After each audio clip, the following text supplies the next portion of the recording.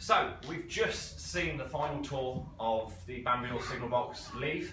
Uh, today is Sunday the 2nd of October, uh, and we've had over 300 visitors. Um, over 100, well, for the last eight weeks, we've welcomed over 3,500. To be exact, 3,508 people into the box over 179 tours. Of course, that's a phenomenal job.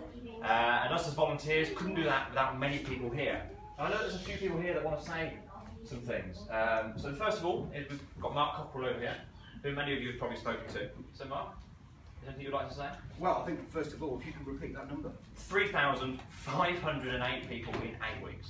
Which, which is amazing. It's phenomenal. And it's thanks down to everybody. It, it has been quite a journey since January when some of us first got together uh, and started to campaign. Um, and we couldn't have been here at the end of very successful eight weeks if it wasn't for the commitment and dedication of so many people. As you said, some of them today, thanks for coming along, but there are so many who aren't here with us today.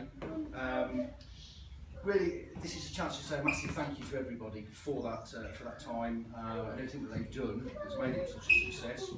Um, the teamwork, collaboration and networking has been absolutely first class on this project uh, and that's allowed us to achieve many things um, throughout this. So it's the original campaign, which I think Mark will agree we did pretty well, but not quite there.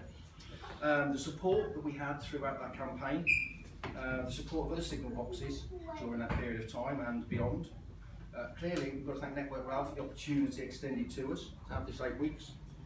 Uh, those that are promoted by social media and with national and local media, which many have been through the Facebook page. Uh, we've had uh, video filming and editing. Down here. Chiltern Railways, running trains all the time. Uh, we've had the production of the souvenir booklets, the tickets, the model. Uh, Chiltern Railways supported us massively through the period with access through the station and into the box and at many times staff. Um, Network Rail, as we say, for offering such a collaborative working. Uh, Martin for leaving many of his own items here risking them for the eight weeks for the benefit of, of so many people. Uh, and for his efforts in terms of bringing this back to life for the eight weeks with the codes, the illuminations. Uh, retired bobbies who've helped us in rooms, here, uh, who've, uh, who've continued to give up their time since starting retirement to make this work. Um, the many, many who've been guides throughout this period, uh, many hours given up to, to be here. Uh, we've got heritage experts coming in now to, pick up from where we we're leaving off. Uh, special uh, recognition has to be to Mr Bennett, um, specifically for the warm welcome he's extended, firstly to us back at the beginning of the year, but continue to do that through all the volunteers and many, many of the 3,500 people who've come here. So thank you very much, Mike. Really is appreciated. So, I'm not quite there. oh, I apologise. It's good reading the script. Um, today is a sad day um, because it's the last day that so many of us will come into the box as it is. Uh, but we do leave knowing together we have truly something remarkable. Thank you. Pre premature answer. um, if you've been on a tour midweek, uh, the likelihood is you have seen Greg. Uh, Greg works for Chiltern Railways, uh, and he's obviously seen many different types of tools, haven't you, Greg? Just explain the sort of diversity that we've seen, because originally we said this box can be used for pretty much anything, can it? Yeah, that's right. I mean, certainly one of the um, the, the most um, joyous parts of doing these these visits is seeing um, quite how varied the, the groups have been. Um, certainly from you know Cubs, Scouts, uh, Sea Cadets, and uh, even through um, the public visits that we've had. Uh, we've had art groups, uh, photography sessions, and it's been absolutely fascinating talking to uh, different people that have come from a railway background, that have known lots of people here, uh, known lots of people from the area, uh, but equally just people that uh, have come uh, to see the box and uh, to hear their, their thoughts and um, you know, express to them quite what a way of life the Signal Box was. It's been absolutely amazing. So it's been a really fantastic time um, for these last few weeks, certainly. So obviously, if you've also been on a weekend or weekday tour, you might have seen this chap here, uh, who's looking rather dapper today. This is Mark Bennett, um, who has been sort of vital to the success of this from Network Rail. Um, Mark, just remind me, obviously we've been working for months, just remind me what we set out to achieve with these tours. So we effectively set out to allow members of the public to come in and see this wonderful signal box as part of Network Rail's and overall corporate social responsibility. There's a big piece here about kind of respecting the cultural heritage of what we've got as the, the UK's rail operator, and this is this has just been immense. When we set out, we set out to give people free and open access to come and see this, and we wanted to use that opportunity to talk about railway safety, railway history, and to sort of introduce the public to an environment they never would come in.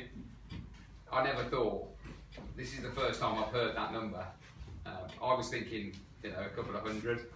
Uh, yeah, three and a half thousand people to see this because of what we've all done collectively has been brilliant, absolutely brilliant. So I'll just repeat that number again 3,508, statistic we must remember for a long, long time. Um, so obviously this box has been open for 116 years, it's never shut in its entirety, um, it's always been manned. And one of those people who, bit of an idol on the railway, very admirable, almost like celebrity status, uh, is Martin Crane. So along with the likes of uh, the, the Bob Miltons of the world, uh, and all the other signallers that have worked here, he's worked here for the last 14 years. Now, Martin, this is almost like your second home. Um, and obviously, us coming into it as foreigners um, to run these tours, did we do it justice? And have you have, have you enjoyed it? Oh yes, without a doubt. Um, funny thing is, I shouldn't have been here. um, you talk about it being my second home. For the last two years, it virtually has been because of staff shortages, which was the reason I came here in the first place. Because I was shift supervisor in the signal box at New Street. And my boss said to me one day, he said, I don't know how we're going to cover the Banbury area. We've only got five seats, went out of 12. So I knew the area roughly from when I'd been on the relief from the Leamington area back in the 70s. So I said, well, I don't mind going down low if you're that stuck. So I ended up in Banbury South. And after six months, they filled a few of the jobs. And I'd started enjoying myself. Right back to my roots. So when they said you can go back to New Street, I thought, no, to stay. I said to my boss at New Street, what would you say if I said I wanted to stay at Banbury? Oh, please yourself. So I did. and there was a bit of a move around then because the lad that was here on my shift at Banbury South, I'd worked with at Saltley and New Street. And then he'd moved on and somehow managed to fiddle redundancy out of the. And then come back and kept the money. Which was and he went to Fenny Compton. And then he came here so on our shift, it was like New Street, Baffield, because there were about the uh, two of us. They paid off some of the people who were long-term sick. And then Dave here went on one of the relief vacancies. So I came here. And that was it. 14 years later. And when I came here, I have to say, it was a done. What you see here now is nothing compared to what it was like when I came. And the south wasn't very good, I wasn't very good. They were both scruffy holes. They'd been neglected for years.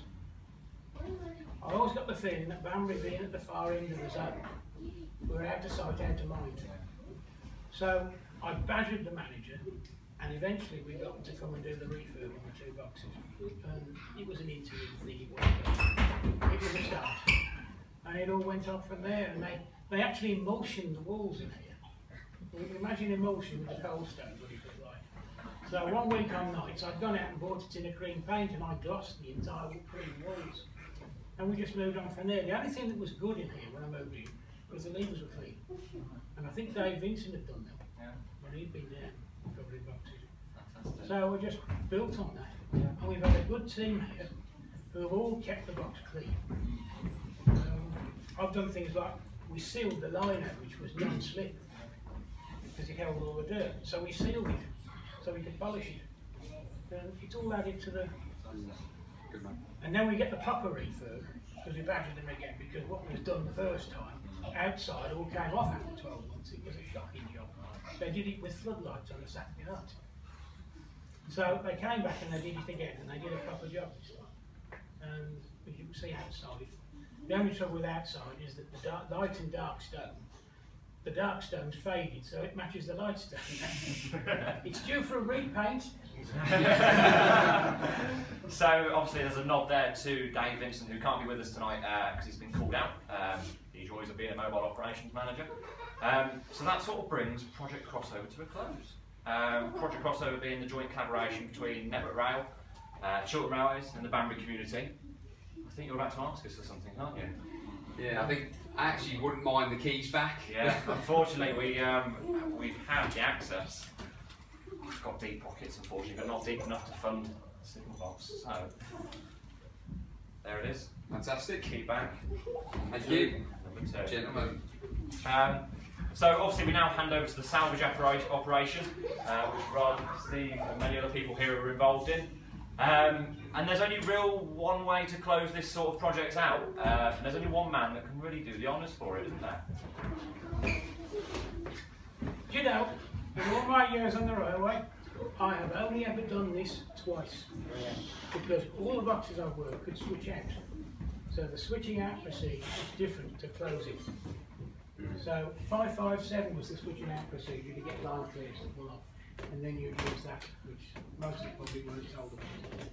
But to do it properly,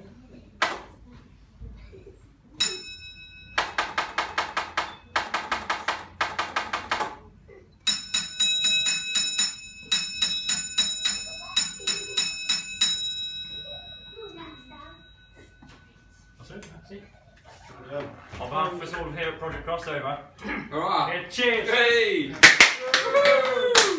Oh, Excellent. thank you, thank you.